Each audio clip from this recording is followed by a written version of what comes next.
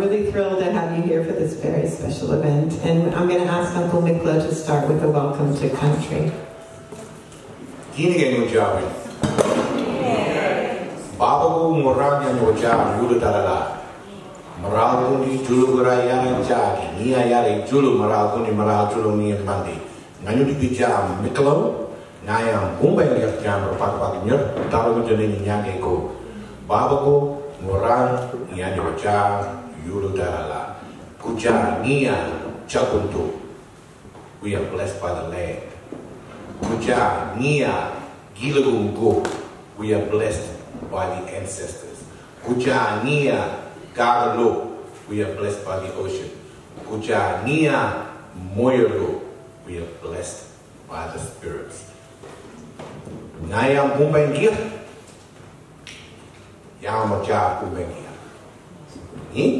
Yamaja died, he died, ita, ita. Kumbengia, spirit in this land forever. Gumbaynggirr spirit inside me forever. I am Gumbaynggirr because this land is Gumbaynggirr and this is where the great ancestral being Yulada planted the language in this. And I am connected to each part of this land because it is linked to the Gumbaynggirr language. Daroya Lamin Gumbang Jagunda. Welcome to Gumbaynggirr homeland. Daroya Lamin Bali. Welcome to Bellingen. Daroya good to see you all. Daroya thank you.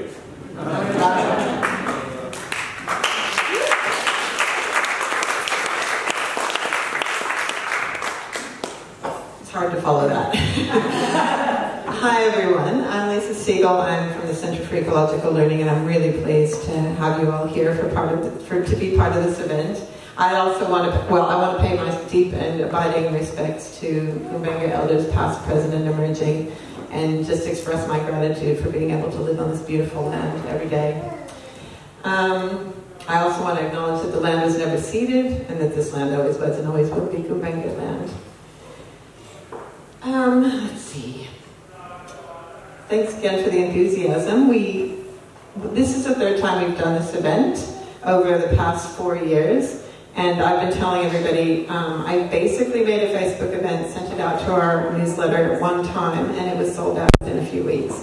That shows me that there is a real need and a real desire to learn more about both spirit and science. So this event is um, part of, it's brought to you by the Center for Ecological Learning on behalf of the Coffs Coast Regional Science Hub, which is an initiative of Inspiring New South Wales, supported by the New South Wales government.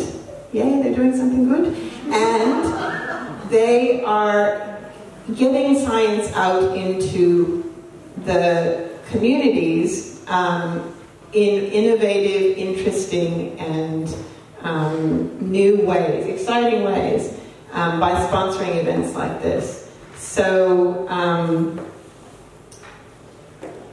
what what we're going to do tonight? Um, so the initiative's been running over three or four years, and it'll keep continuing. So keep watching this space. And a lot of people were disappointed because they couldn't come tonight. Um, but I think there's such a beautiful partnership here between Mark and Uncle Micklo that I have no doubt that we'll continue this conversation. So how we're going to run tonight is um, I'm going I'm going to introduce both of these uh, lovely humans, and then they're going to be in conversation for about an hour. Um, we'll see if that actually happens, if, or if it might go over an hour if I know them. But then we'll hopefully have time at the end for some questions from you all. So, I'm going to introduce these two beautiful people. Uncle Micklo, Uncle Michael Jarrett, also known as Uncle Micklo, is a well-known and much-loved Gumbaynggirr elder um, who you will have seen probably in many places providing welcome to country ceremonies at many events, as well as leading indigenous language classes, camps, cultural storytelling, um, Uncle Micklo's from Nambucca Heads, but he was born in Macksville and grew up and spent most of his adult life on Bellwood Reserve, surrounded by family. Um, but it wasn't until he was uh, working as an early childhood educator in 1997 that he decided to attend Gumbaynggirr language classes. So Uncle Micklo didn't grow up speaking language. And I thought that's important to share. Um, but the lang- he enrolled in, in um, classes at Muurrbay Language Center, which we're really blessed to have in our local area. And um, he might tell you more about it, but it was hard work learning language. But um, he persevered and then practiced with his um, little ones at preschool. Um, then enrolled in a master's in Indigenous um, languages education, which is what university was that? Um, New South Wales, University of New South Wales. And the rest is history, that we have this amazingly um, knowledgeable educator here in our midst who is in every school that I see. And he's also a bit of a, um, so he teaches, he works with the New South Wales Department of Education and TAFE and other language organizations. He runs um, classes here in Bellingen, and he's also a bit of a YouTube star. if you Google, if you Google him, you'll see just heaps of really cool videos teaching you everything about and telling stories. It's awesome to do that. Um, so I personally just, it's more than just Uncle Micklo's knowledge. It's the passion and his massive heart that shines through and inspires so many people. So I'm really um, pleased that he could be here to share more of that big heart with us. And yeah, thank you for being here.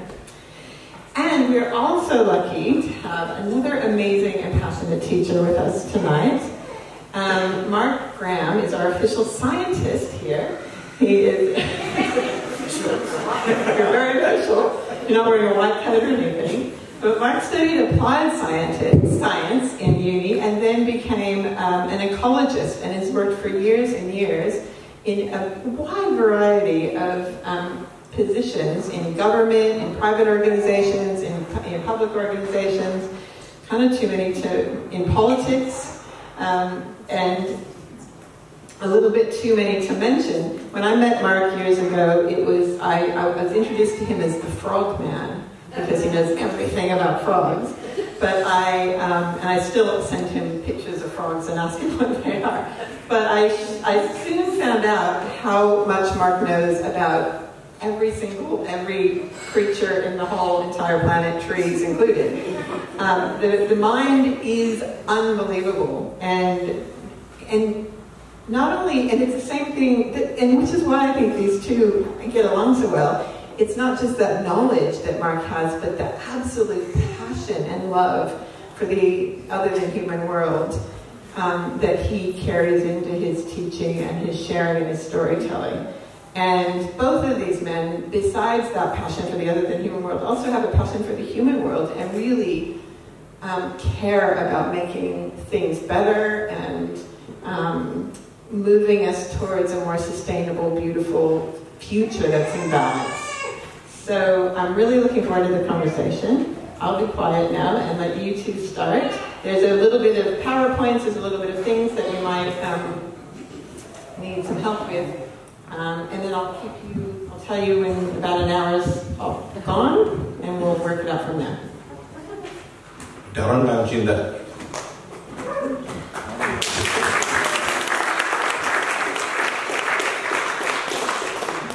I love listening to this man every time he says something, I will go, what? We were talking, we were talking, uh, um, uh, what, day we were over there? Monday. Monday, we're talking Monday.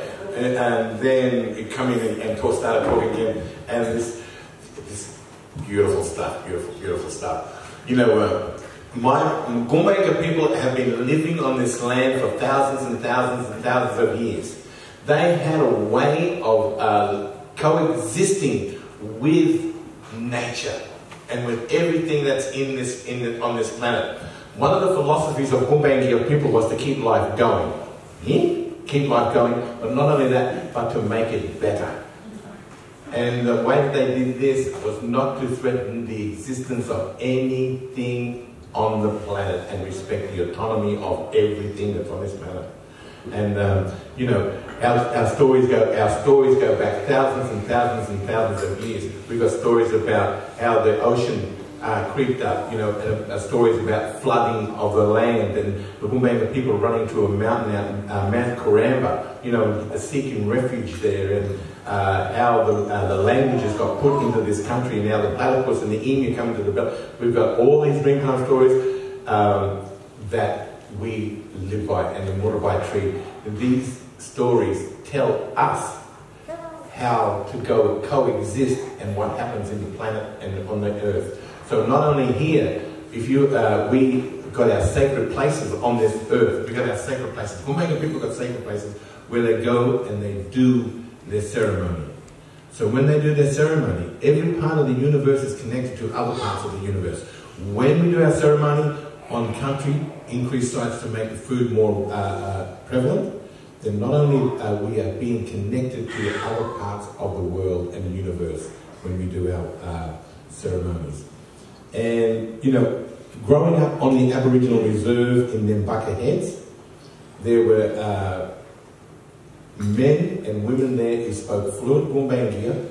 They were initiated, uh, uh, men and women, and it was a privilege to see some of these uh, um, men and women, how uh, beautiful they were. You know, they, they were really, really beautiful in their spirit and in their knowledge and in the, in the way that they um, interacted with all the community and, and the uh, planet itself. And, you know, I didn't learn language growing up.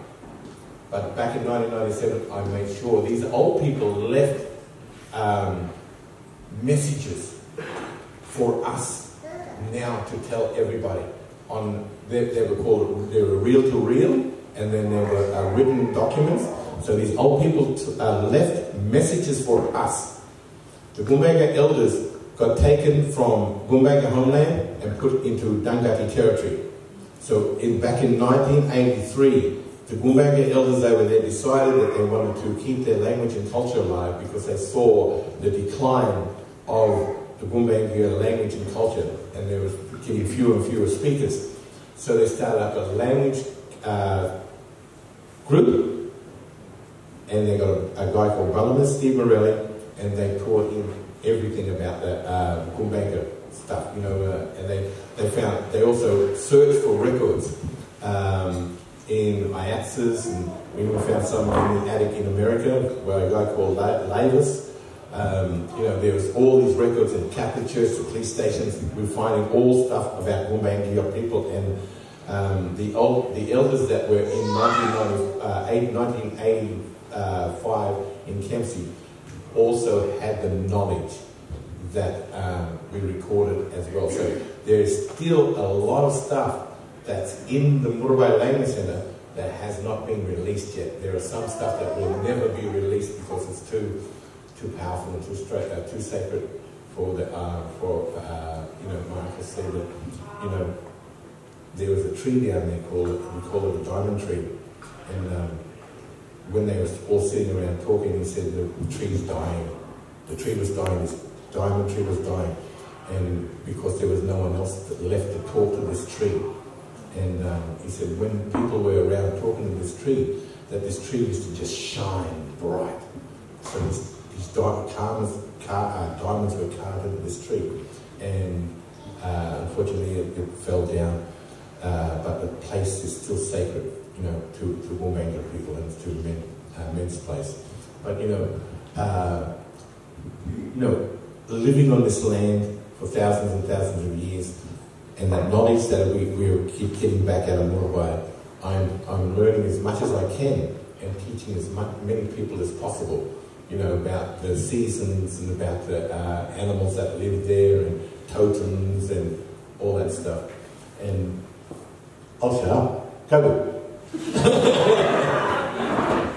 I can go all over, do I? I've got a, a, confession to make, and it's something that I feel keenly responsible for about. Um, I don't speak much Gumbaynggirr, and I've not applied myself at this stage to learning Gumbaynggirr language. And I've been lucky to have been in this nation most of my life, going back to the late 1970s. And this land has been so uh, profound in how it's influenced my existence.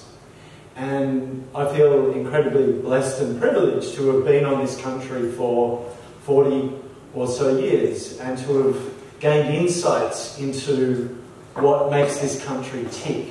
And I guess that's how and why Micklo and I um, come to be here tonight and what we do together. And I guess as a scientist, I'd like to share some of the insight doing and to be doing together.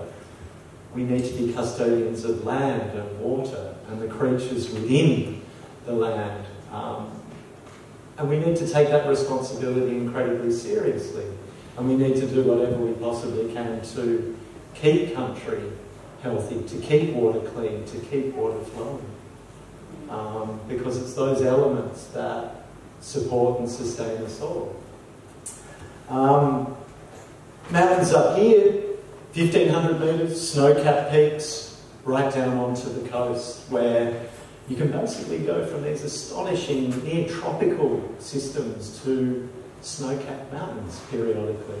And there's practically nowhere else on the planet where that's possible. And those realms, that's, that's where we live, that's where we play, that's what sustains us. And the, the wisdom that comes from the dream time, I think, is um, something that we all need to grab hold of and work together to embody the health of country. The quote that Micklo always makes about everything being interconnected, science absolutely validates and verifies that, that every single action that we take has uh, a reaction and a consequence, a ripple through space and time.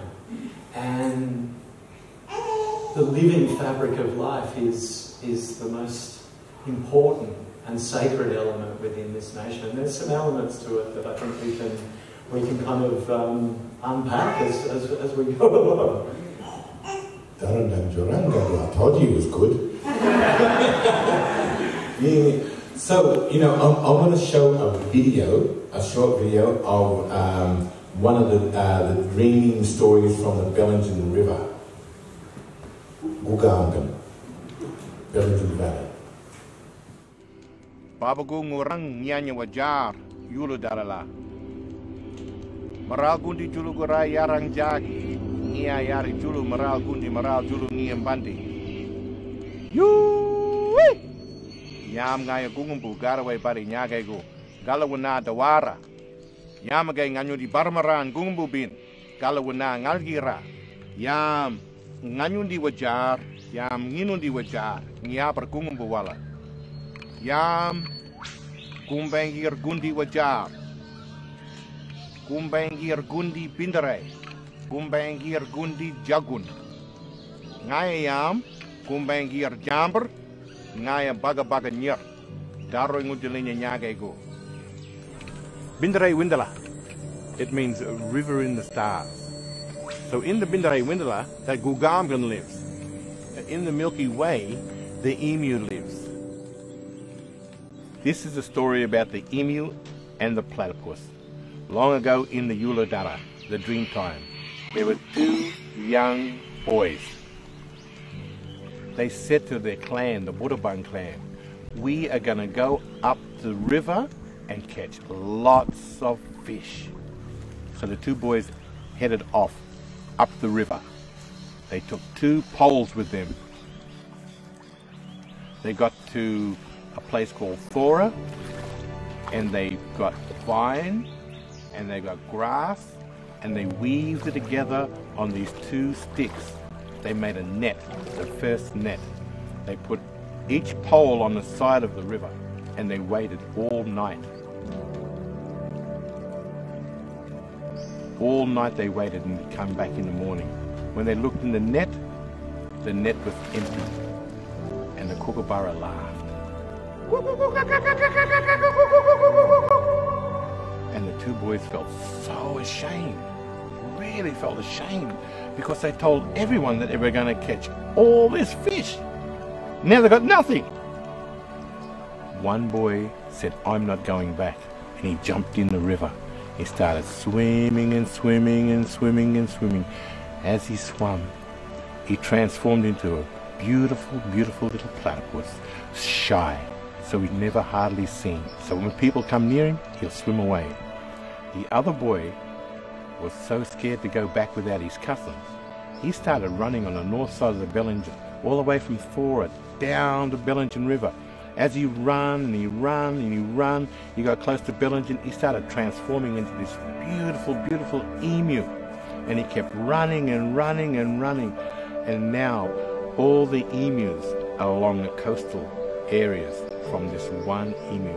So every time an emu sees a man, he runs away because he's ashamed that he didn't catch the fish. And that's the story about the emu and the platypus, come into the uh, Bellingen Valley.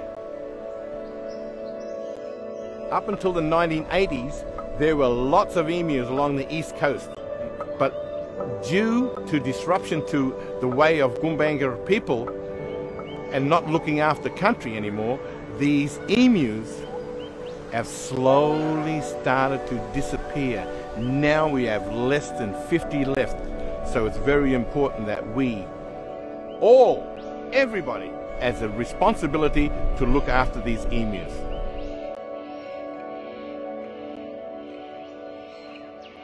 Emu in Gumbaynggirr is Gugamgan.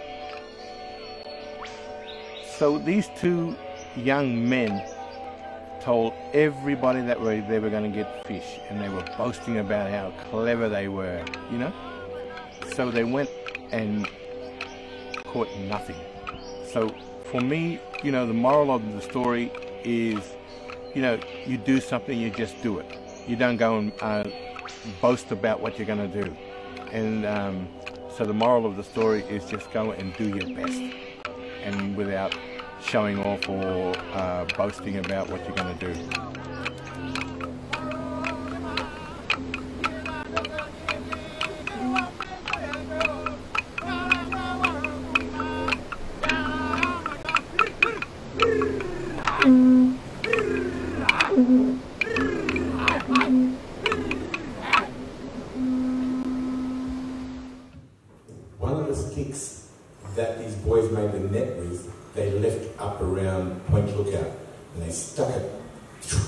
Straight into the ground and there's a big rock at that place in, in Point Lookout. They were my two sons. Hey? And one of, one of them just had a baby boy. Yes! Yes! Go away.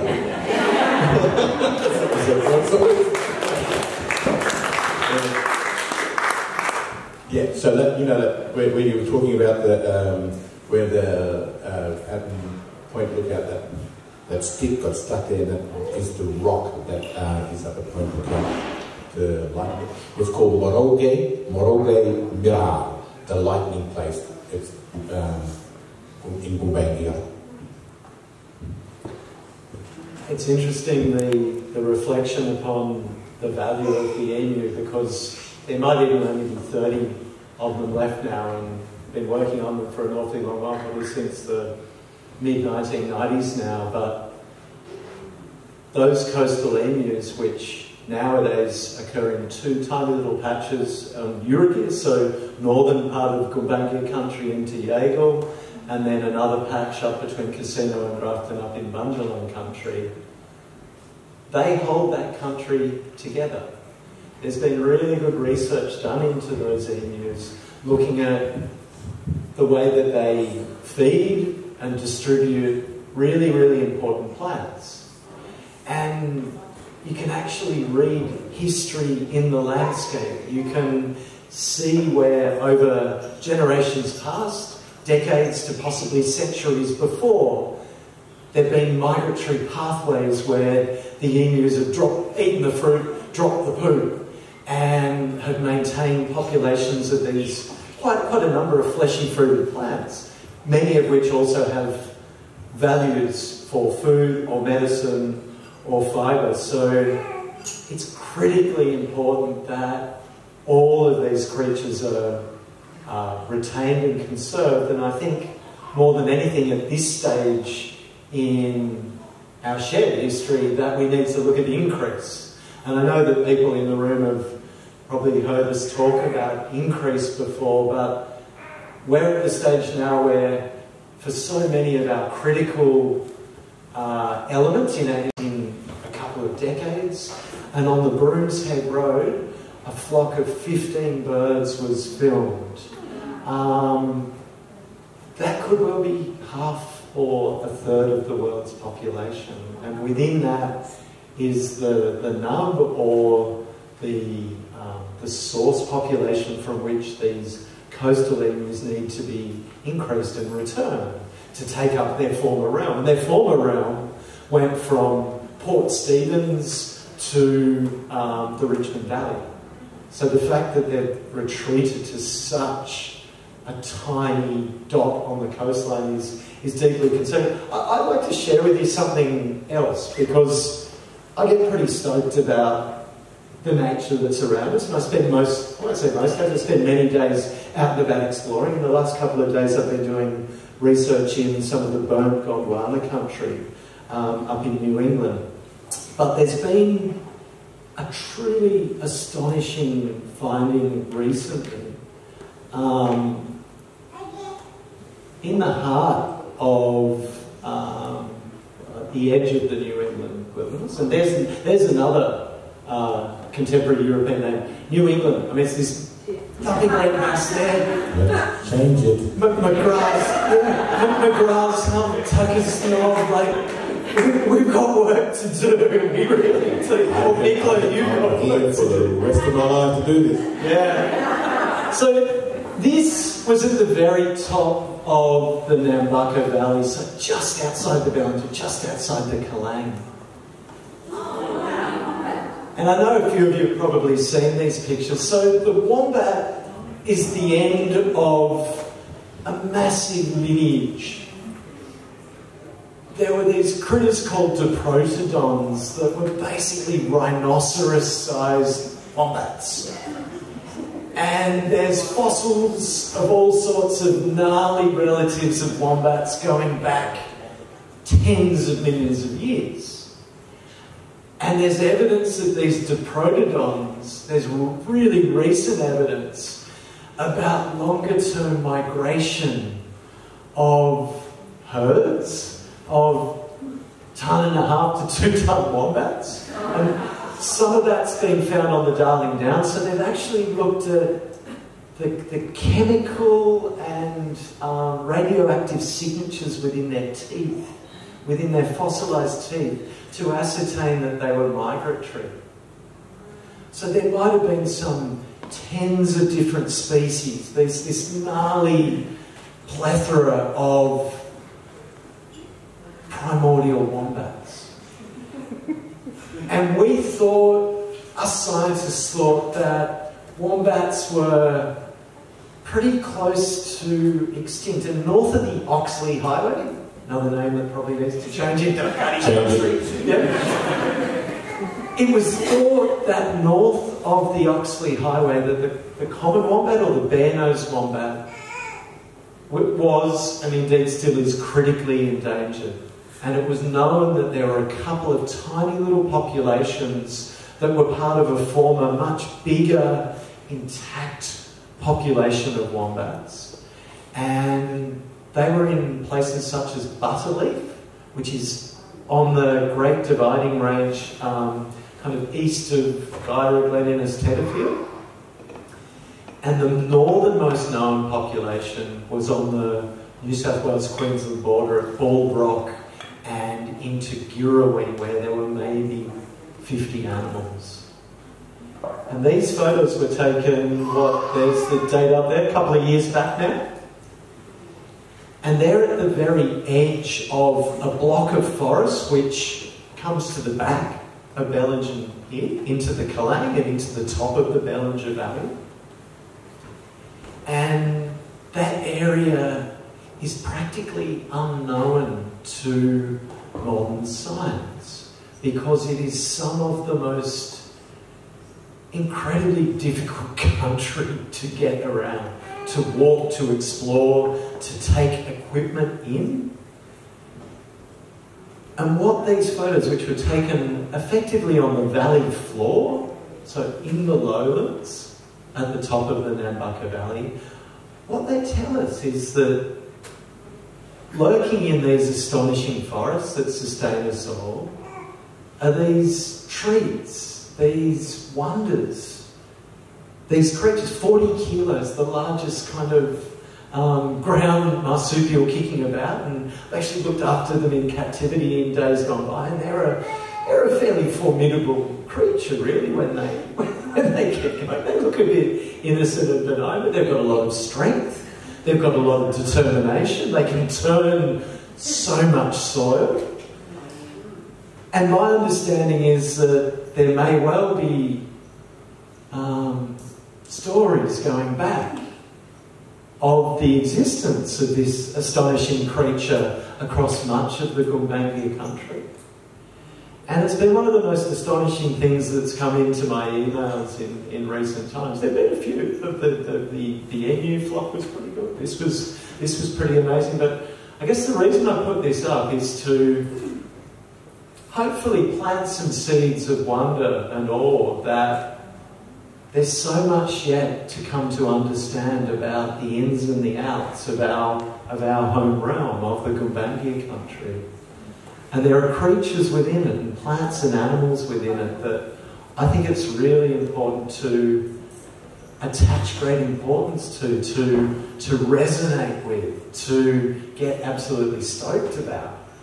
And I want nothing more than my grandchildren to be seeing wombats in abundance.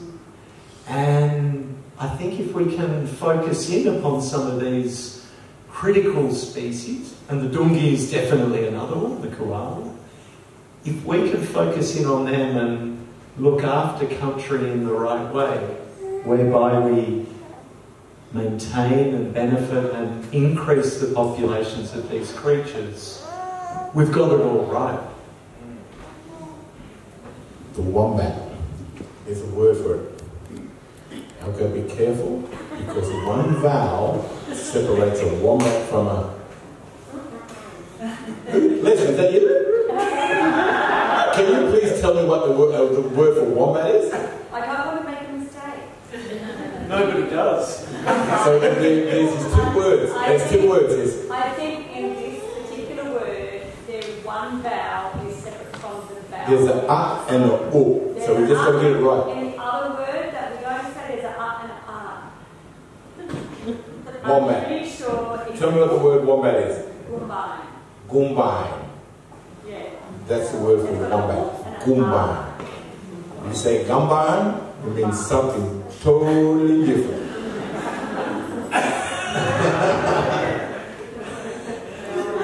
Don't want to. Anyway, there's a, there's a story. I'll tell you another story. Uh, Gumbaynggirr people, the edge, the southern end of Gumbaynggirr country is the Baka Baka Bindre. What's that mean? The Baka River, Baka Bindre, is the, uh, the southern end of Gumbaynggirr country. To the, uh, and after the river, then you got Ngamba people. They're Ngamba, and they are a subgroup of the Dunghutti people that live around Goldbrook and Thompson and all those guys. So these Ngamba people live around Scott's Head. So one day, all the Ngamba people left and went out. Judas got there. Oh, yeah. So they went out because there was no sea. There was no sea. So they went out to the east. All the Ngamba people walked and walked and walked and walked out to the east. They left behind two sisters. They were called Wariga. Wariga sisters, uh, Sango and. So these two sisters were left behind while the Ngamba people walked where there was, where there was no sea. When the Ngamba people got outside, hiding in a cave was a Mopoke man. The Mopoke man come out of the cave and went up to the younger sister and said, hey, I want to marry you. The older sister said, you can't marry her, you got to marry me. I don't want to marry you, you want to marry her. And then a big argument about who was going to marry who. Anyway, all I have to say is, Junior, he magically put them to sleep. Right? And then he left them there. The older sister, who was powerful, got up and fixed herself up and fixed her younger sister up and said to the younger sister, we have to do something about the Mopoke man. If he comes back and you don't marry him, he's gonna kill us. So the older sister goes into the bush, get a bowl, put some honey in there, put some water in there, and put this sap from a vine called Bigar. She brought it back. The Mopoke man come. I want to marry you. Can't marry her. You're going to marry me. I don't want to marry you. You want to marry her. Anyway, the older woman, the older woman, or the older sister, gave the Mopoke man the potion, and he drank it. And then, all, then transformed into a real Mopoke and flew away. And that was the end of the Mopoke man. The older sister then said to the younger sister, go over in the bush and bring, bring back two sticks about that long. So they brought it back and they sharpened each end and they made the first gunai. You know what a gunai is? Gunai, that's a, uh, that's a, what's a spear, do you know? Gunai and gamai. Gamai is a spear.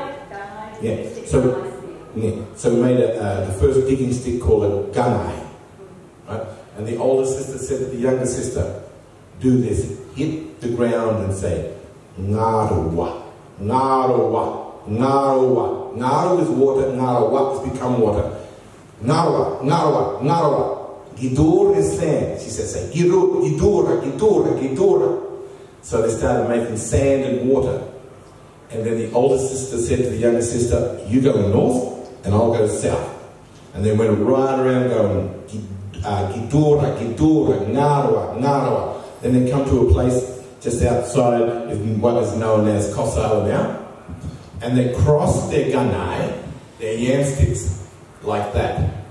And they formed an island called Split Solitary Island, which is now called Gunai, which to us is called Gunai Miral, the yam stick place, what the women created. And then the women, the two women then ascended into the sky and became a part of the Seven Sisters constellation. Mm? So now the number of people that went out are trapped out there because the water's coming up. So how are they going to get back? Two koala brothers, two koala brothers, they were magic. They were mm, animal and human are one. So the two koala brothers said, we will help you. So they got the intestines and spit it out and made a land bridge from out here all the way back. And everybody walked back across the land bridge. The land bridge is known to people from Scott's Head as Elephant's Head. is a land bridge. So there was a cheeky wildcat, a Barlegen, a Barlegen. He was threatening to chop the land bridge down so everybody falls in the water. There's no, no, no, And then when they all got back, the cheeky Barlegen went down to the uh, ran down to the water and started teasing the water and making these big waves. And the two koala brothers were watching him. He's going to drown us all. He's going to flood the earth.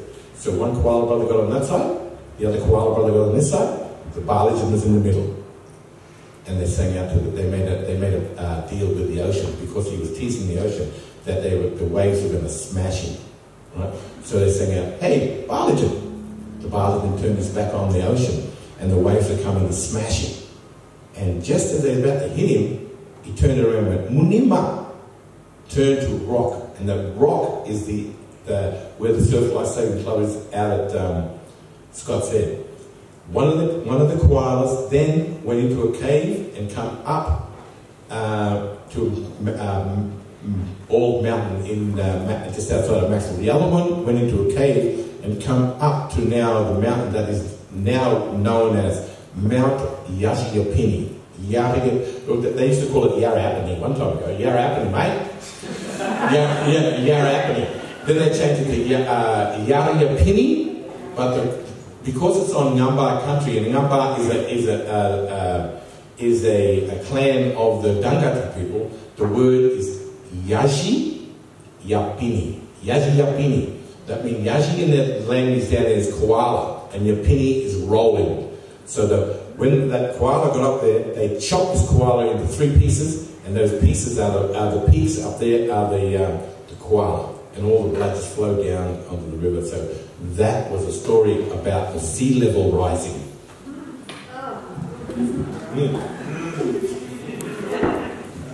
And we may need to be building future stories for seas rising because they're, they're coming in. I like to reflect upon another element to this landscape because it's something that um, is really, really near and dear to my heart and I think radiates incredible um, life and energy and elements. Can you see that? That's like a um, the core of a wagon wheel, and that's about 60 to 80 kilometres across. And at the very middle there is a feature which, once more, new names are needed. It's called the crescent. And it's the very core of an extinct volcano, which once again means another name, it's the Ebor volcano. And what that system is, is the largest radial drainage pattern. So by radial, radiating off the centre of the volcano. And when it, so the, the, the, the highest point of that volcano is about 1560 metres. But when it was at its peak about 18 million years ago, when it stopped erupting, because it would erupt cubic kilometres of rock at a time, giant chunks of earth. And the Dorrigo Plateau is one of the greatest remnants of that volcano. It was much, much higher than Mount Kosciuszko.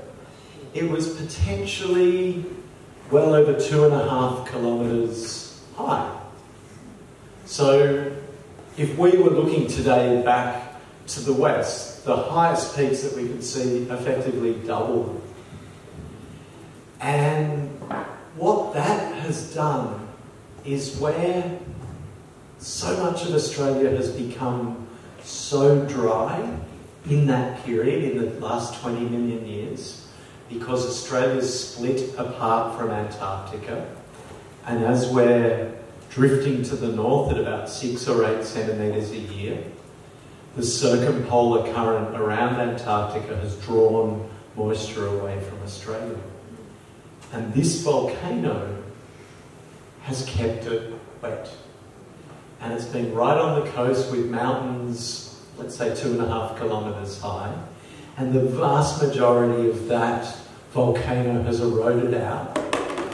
And it's made this lush realm that we're, that we're, we're, we're, meeting on tonight. That the valley floor of the Bellinger uh, Valley, the coastal flats, and this realm that we all occupy is a direct consequence, a direct result, a direct creation of this really ancient volcano. And I think it's going to give us a really rosy future because Australia is drying out, that's just a reality. And this country just creates rainfall and it holds water, it holds massive volumes of water, and that even with the extreme droughts that we've been through in recent times, there's always been water in these landscapes. And that water is what sustains the soil. And unlike some of the other volcanoes to the north, like Wollumbin, pretty much the whole of the middle of Wollumbin has been cleared out, the Tweed Valley. And this is all intact, and there's wombats running through it because the wombat was kind of over and about there. And the nature that exists within that volcano tells us all sorts of stories about persistence, about what it takes to survive through unimaginable periods of time.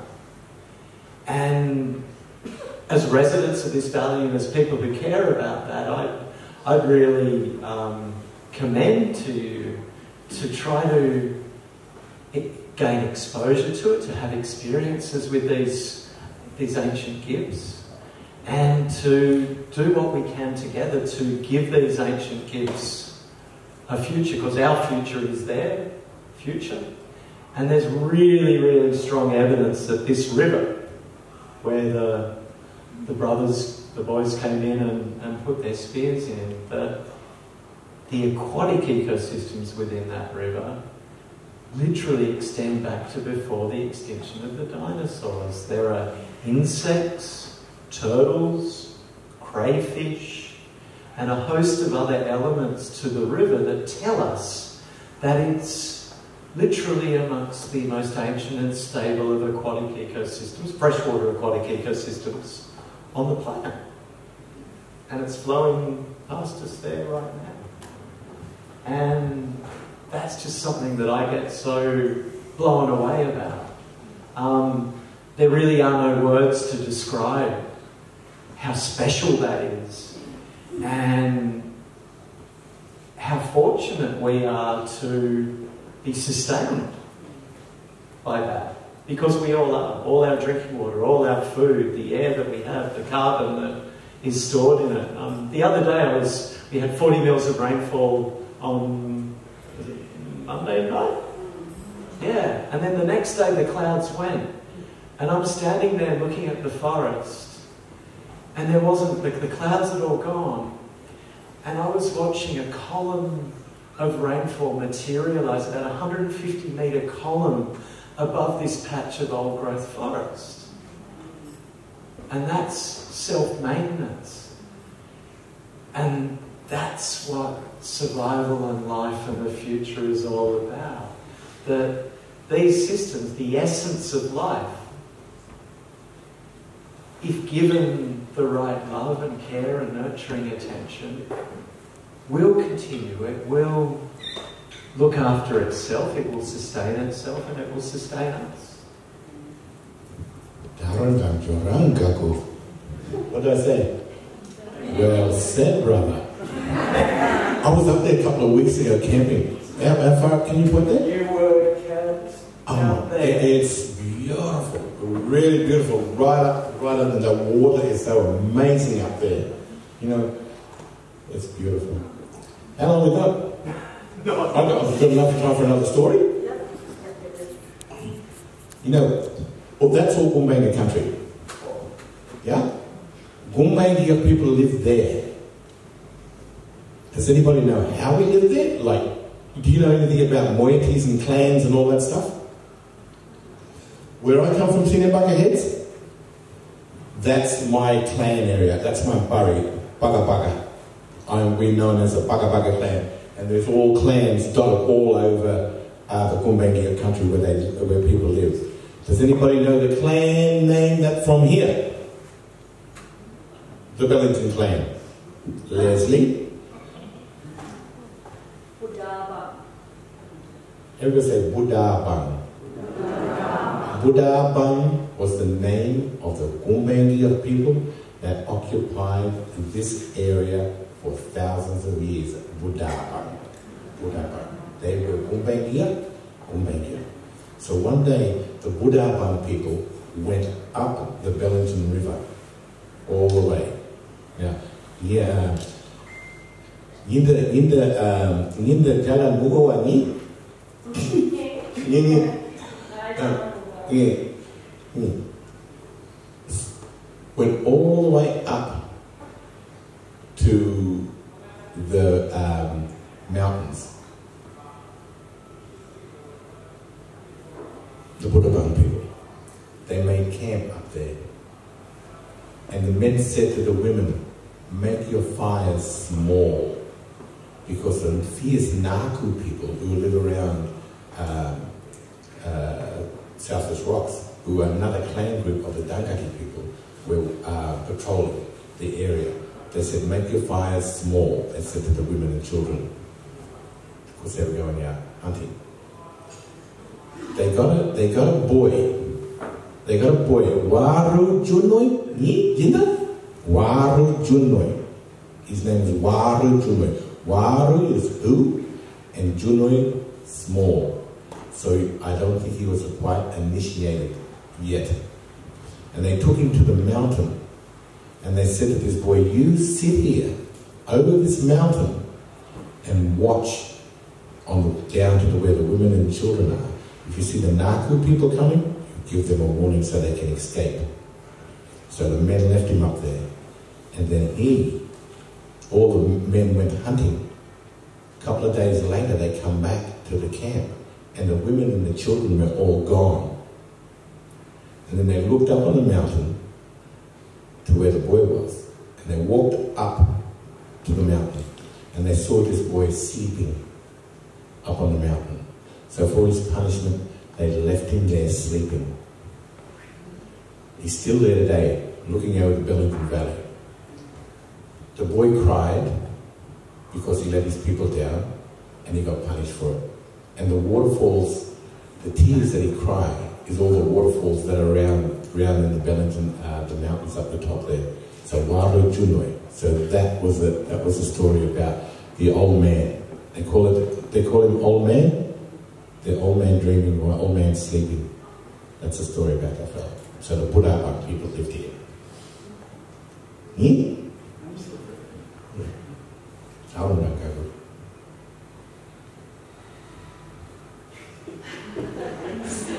Hey, you know what? Okay in Gumbaynggirr culture. Listen. Silence is really okay in Gumbaynggirr culture. Isn't it beautiful? Like if we were living in, if we were living in a clan, right? You know, people everywhere. So for them to escape, they would just sit quiet. And if, if everybody else is chatting and someone's sitting quiet over there, they know that person wants to be alone. They just let, let them let them be. So silence is very good in, in my culture. Yeah? Dararuba.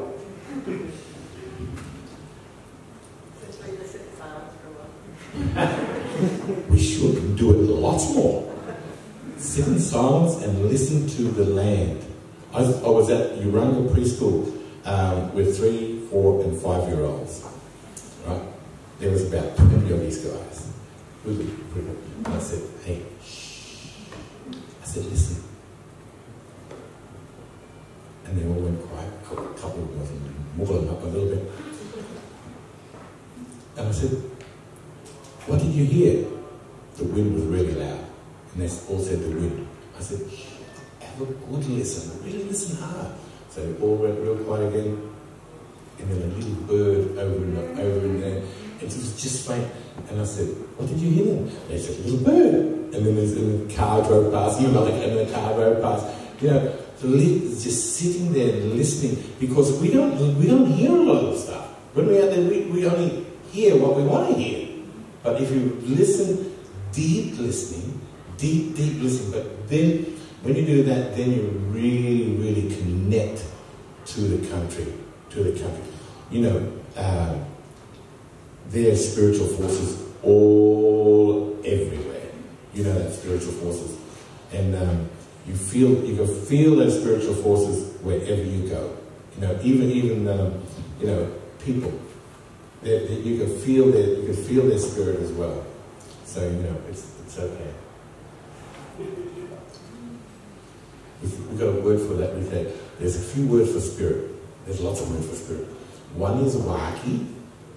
The other one is gunj, gumbur. What's another one? Know? Moya. Moya. Moya. Moya is breath, and it also means spirit. Um, Moya, there's a story about uh, um, um, the Wajir Jagi, and she says Moya Gariwa to these guys, and then become breath. Moya Gariwa. But Gumbaynggirr people, and uh, you know, they, they had this special, special connection to every part of the land that they lived in. Every part. And all the animals, all the trees, the water, everything was special. They had totems, plants, animals, all with totems. Um, know, my totem, the, the Gumbaynggirr people's totem. Does anybody know the whole of the Gumbaynggirr Nation's people's totem? Gargle. Who said gargle? Yes. Gargle. Did everybody know what a gargle is? Ocean. So that ocean is the totem of all Gumbaynggirr people. And then the bird, that when we was playing that uh, before, the bird is called a neon, a little bird like that, is the uh, women's totem. And the, the men's totem is a little micro bat called a girimari. Girimari, that's the men's totem. The women's totem is a little uh, neon tree creeper. And the, uh, the old pit, the Gumbaynggirr uh, people is the ocean. And then my family totem is the shark, which is a young guy. And then on my mother's side, it is a red bass. So that, you know, and we've got my, my section name, my skin name is Maroon. My father was Wambum, my mother was Buran, my sister's Gargan, and my wife would have been Wangan. And then, you know, we all had these special names and special. Everybody in Gumbaynggirr country was related by, if it wasn't by blood, it was related by kinship. So if I'm a Maroon man, right, in Nambucca Heads, I go up to Gyra, and they got the same kinship system up there, like Marung and Wambo. I go into their clan, and I say, I'm a Marung man. The people will go, hey, you Marung? He's Marung, that's your brother. There's Guran, that's your mother. There's Birbian, that's your mother-in-law, stay away from you know, we, we, we had that relationship with their mother-in-law, you know. You know you know, all over, all over Australia, I think that is. I don't know, I don't know if it's in the Whitefellow one, but it's in the Buri one. That, that your mother-in-law was, you, know, you have a special, you have a special relationship with your mother-in-law. Know, uh, the, um, uh, one of the fellows said, you know, if your mother-in-law come in, you don't talk directly to her, you don't look at her, or you know, uh, just if you want to say something, you say something to the glass. Hello. that means that means hello to you. You know? So you don't talk directly to her. Yeah, and I think that was because of, that if something goes wrong within the, within the marriage, that the mother-in-law has a fair, um, you know, understanding of who how to deal with it without having bias against the, the son-in-law. Um, yeah, but you know, we did have a, you know, there's marriages, right? Marriages. So um, if, I, if I'm a moral man, I marry a Wangan woman, right? There was a divorce file. We could get, we could get divorced. Leslie, tell them what the divorce thing is. Do you know it? Okay, well, all I know is if a woman is not happy in her marriage and she would like to divorce, there's a tree up near Grafton called the marriage tree or the divorce tree, divorce tree. And, you know, if you're really serious about, I cannot live with this man, okay, here's your axe. You climb off that tree and cut off that branch, and then you're free of the marriage. Isn't that beautiful? Yes, if you want to divorce man, just climb a tree. I didn't hear anything about if the man wanted to divorce, what his way out was. Mmm, top, top secret stuff.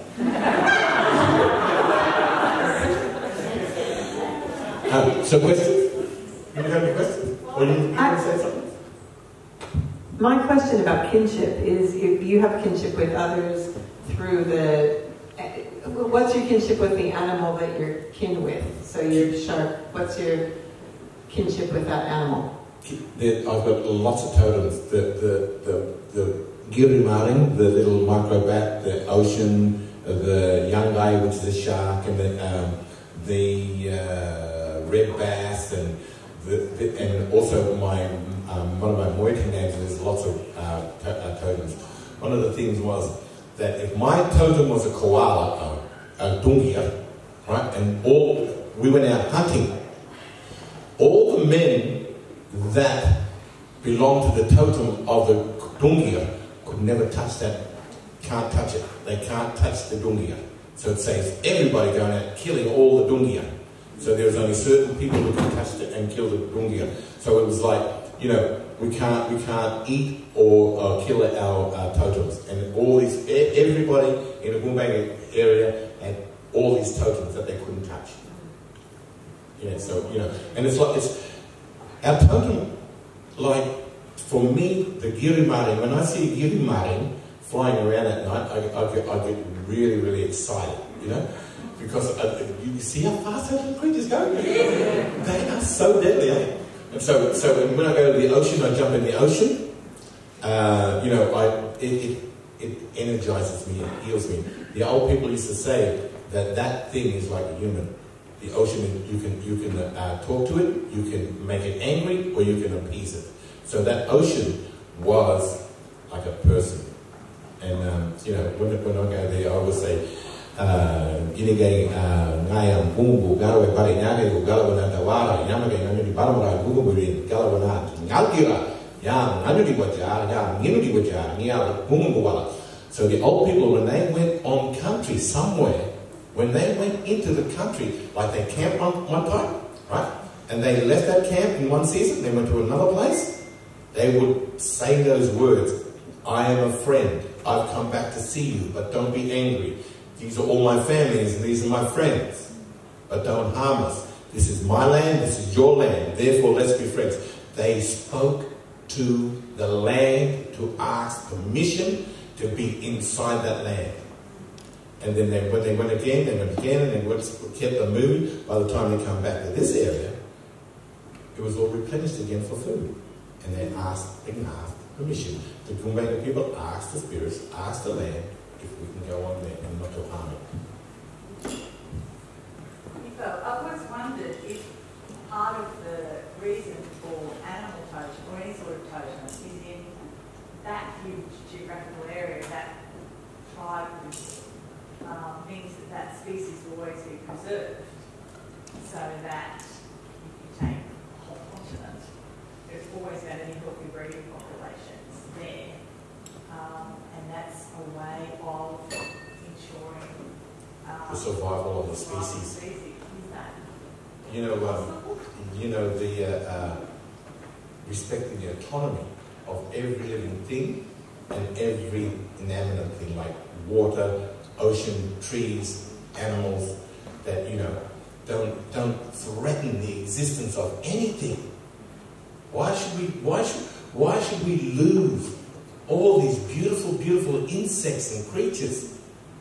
You know, and it's not only happening in it's happening all over the world. It's you know, but you know, if we if we can, uh, you know, the more knowledge of Gumbaynggirr people and Indigenous people say, all right, how do you guys keep this land the way it was? You know, how did you do that? You know, uh, by kinship systems, by uh, you know, totems, gentle fire burning, you know, and treating the land with respect as, as a person, as a being, and not going in there to uh, destroy it and harm it, but to live with it. That's what people need to know. That this planet that we're on is a living thing that we need to look after all of all of us. Everybody, all the, all the people who live in Gumbaynggirr country, everybody. Nicola, I reckon we've got to get you into Microbat Central. Microbat. Up there, that's the Corindi River Valley. So that's the, the hinterland of Woolgoolga. That landscape, so Australia's got ah, 150 to 200 microbats. In that valley up there, there are 32 microbat species. So from the, the banks of the Corindi River up onto the sandstone country, the Sherwood sandstone country, that's a significant proportion of all the continent's microbats. And that's Garby country. Mm. And Garby is a wallaby. And that, that's, that's not particularly well known, but these microbats function across all sorts of different parts of the landscape. So the one that's down on the river is the fishing bat. They sweep their feet through the top of the water, water body to catch insects and small fish. And then there's bigger bats that fly higher above the water, catching flying insects. And then there's much bigger, really fast flying bats that go right across the top and they fly like nothing else. There's one, the, the yellow bellied sheath tail bat. It's got this full whitey yellow belly, and it, it's like a fighter pilot bat. And then you go into the rainforest, and there's one called the golden tip bat. And they've got these little hairs that crisp over. They kind of curve over, and on the edge of that curve is like a drop of liquid gold. And they, they flutter. They're like a helicopter bat. And they're in rainforest, and they're using their ultrasonic detection, their sonar, to flutter around, figure out where there's a spider web, flutter up to it, and delicately pick the spider out of the centre of the spider web. And that's, that's just three or four of them that we know a bit about. Like, we've got to get you to. I, I want him to come to my school. Kids need to hear this stuff, you know? They, they need to understand, you know, if we can get into the schools, that'd be great. Anyway, the Girimaran site is, for the bat, is that hungry head. There's one up the back there. Yeah, I've got a question about uh, living in harmony with uh, the creatures. Um, what about the ticks and the leeches? They are beautiful. you, you need those things. I'll, I'll reflect a bit upon the poor old leech. Oh, yeah. Um, they've been around 270 or so many years. Long, long, long, long time. And we went through three years of probably unprecedented drought. There's emerging evidence that the desiccation that happened around here, the prolonged drought, was beyond anything in, in, in history. And people who've lived on properties that are leech havens, self included, basically on normal times you kind of go to the back deck, you'd step onto the earth and you'd have 20 leeches on you in seconds. And I started to compile, as, as the drought got more and more intense, I started to compile reports from the front. And I'm, I've kind of plugged into a few networks across the north coast. And it became apparent that people who'd been custodians of particular pieces of land for decades, some of them 40 or 50 years, were to a person in these tick havens noticing the disappearance or the near complete disappearance of leeches. And it got to be that critical that every single leech I'd come across, I'd film it. And people think I was completely stark raving mad, and I probably am, but um, it literally got to this stage where every single leech that presented itself became a delight.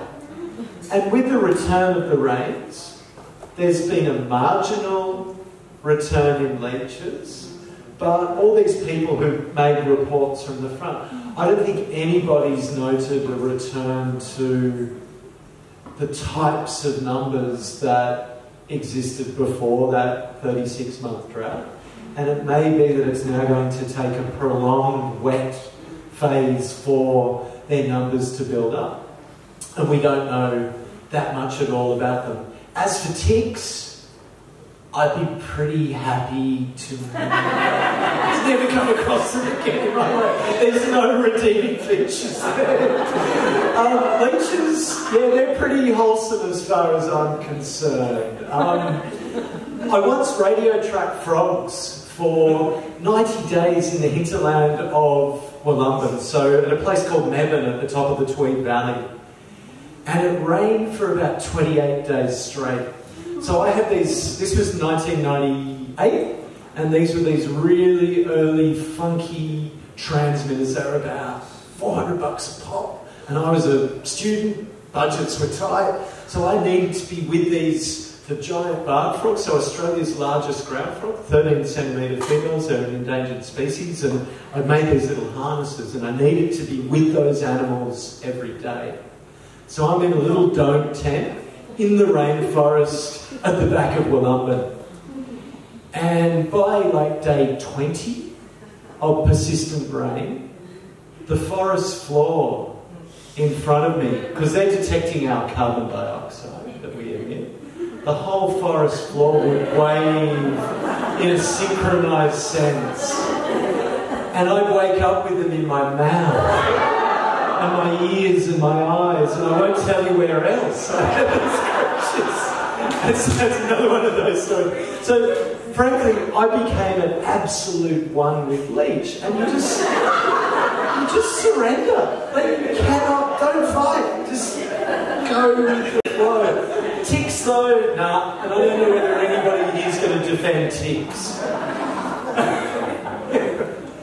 Jinda.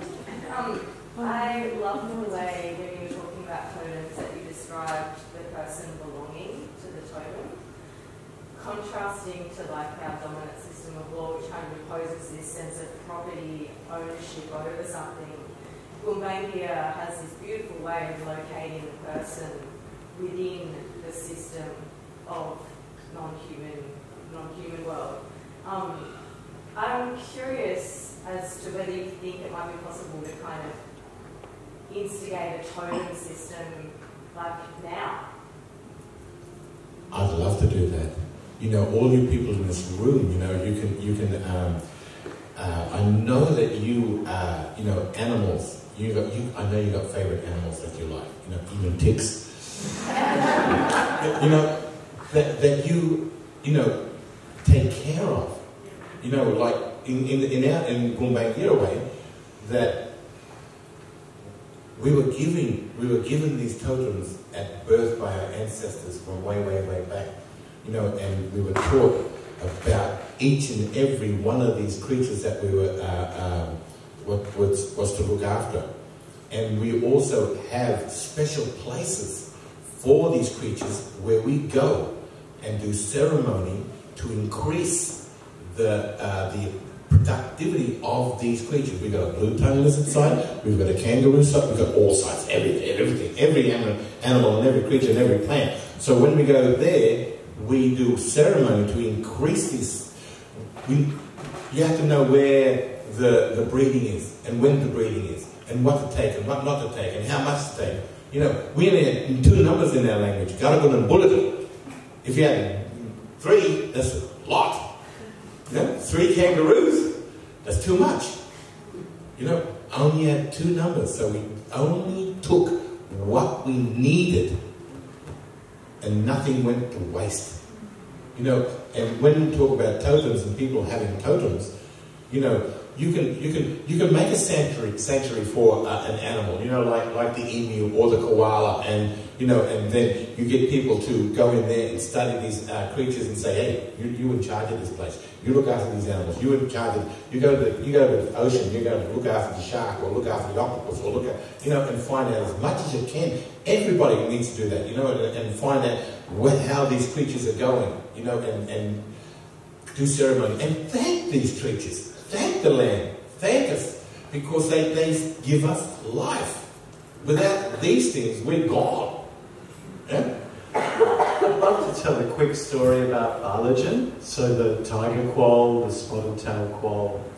Um, since the mid 1980s, I've been quite intimately involved in the Coffs Harbour Botanic Gardens. As a young kid, I was lucky to be kind of planting trees and a bit involved there and doing stuff with Alex Floyd. And in the very middle of the Botanic Gardens is an old swamp mahogany that was probably felled a hundred years ago. And in the very middle of that Botanic Gardens in the I call it the heart of green. There's actually old growth forest in the very middle of Coffs Harbour.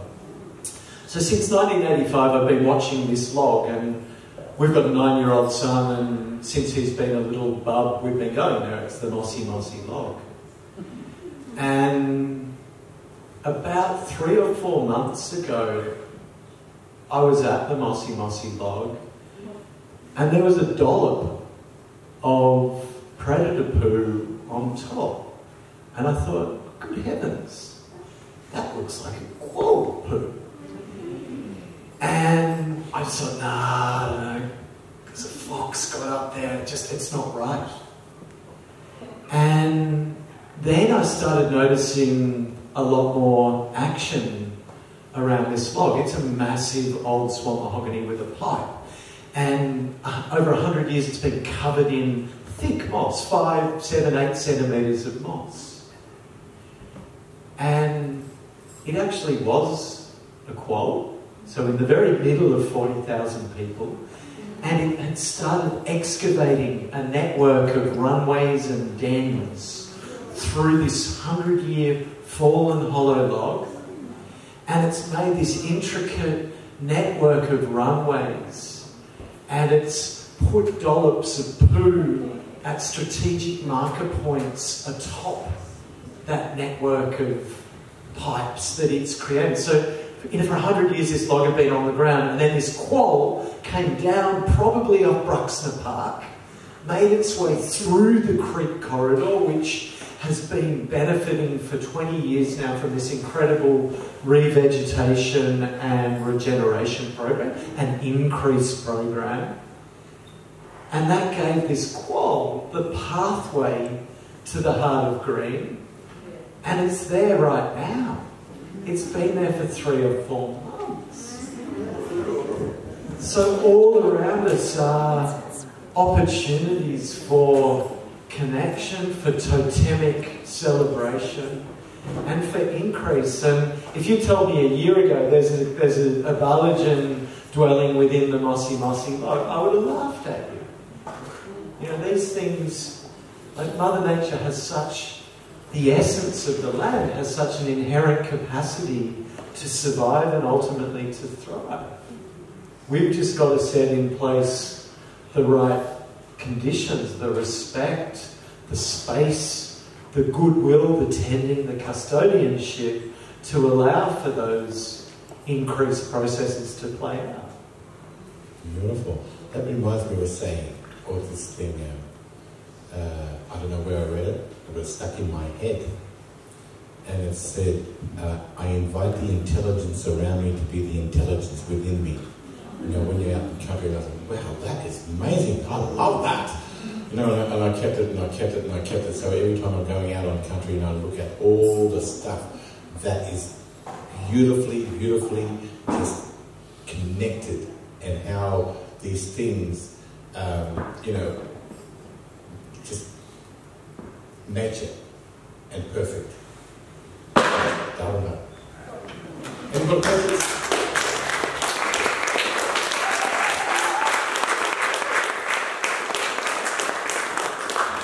Has he got a question? You went? Which school you to? Oh, I used to teach up there many years ago. Cassarina's Diner. Mm, goodness. Yeah. I will. I was up there. I was up in Urunga. I was in Urunga preschool today with uh, three, four, and five year old. Oh, sorry, you know, uh, uh, next next Monday with you. Yes. You have to ring me up and remind me of Saturday lesson. All right. Well, we could probably go on all night, and next week too. Um, but I think we're going to. It's a bit. It's a little bit after nine o'clock. So, do you either one of you want to say any last thing that you feel like you haven't said? Oh, It's, it's just been a delight to share the evening with you all and look forward to um, not necessarily being in a hall. I think being on country is paramount.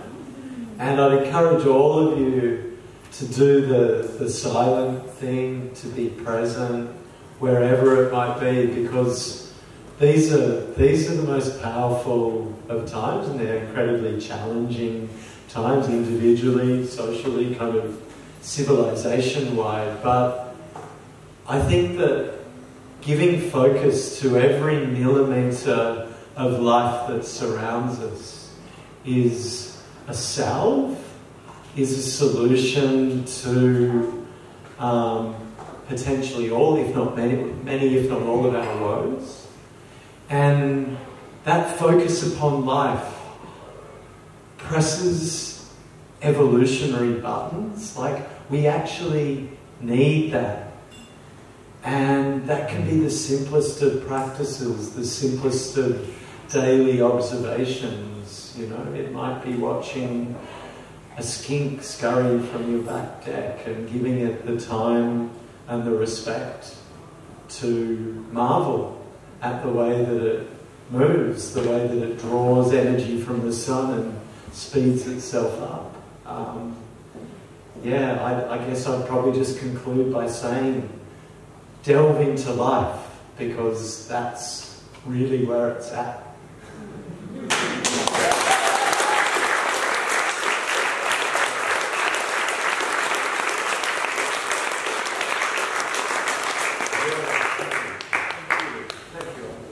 Galagore